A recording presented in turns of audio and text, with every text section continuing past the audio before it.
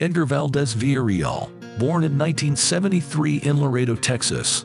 Valdez Villarreal was a talented high school football player, but chose a life of crime over pursuing college scholarships. Born in Laredo, Texas, Valdez Villarreal used his U.S. citizenship and bilingualism to facilitate connections between Mexican and American drug traffickers. Edgar Valdez Villarreal, known as La Barbie, earned his nickname due to his light skin, green eyes, and light hair, resembling the popular doll.